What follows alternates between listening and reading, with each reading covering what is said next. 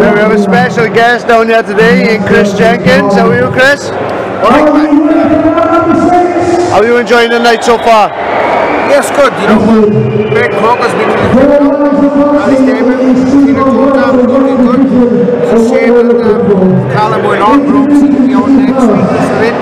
But Chris good luck. Uh, folks back in Wales. Enjoying the boxing. Yeah? Did you getting itchy knuckles yourself? Reckon Itchy Nichols, I'm sweating when thinking I want to fight,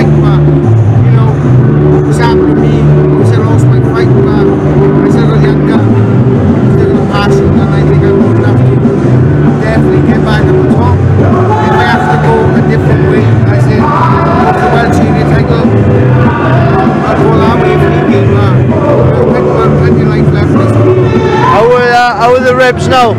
you're all right, you know, um, six weeks, seven weeks out, I started moving really good.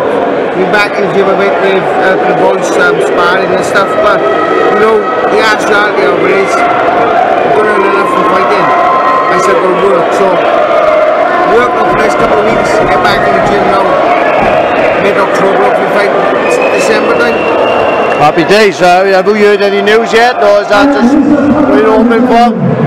Nothing, no news at all. Um, Bo's been in contact with Frank Warren. Nothing back yet, so, you know, there's a lot of shows. Possibly there could be um, one set of fighting Yeah, happy days. So, uh, so you can just enjoy your night for now, eh? You know, yeah, J-Man just next now. Happy days. Thank you for joining me, Chris.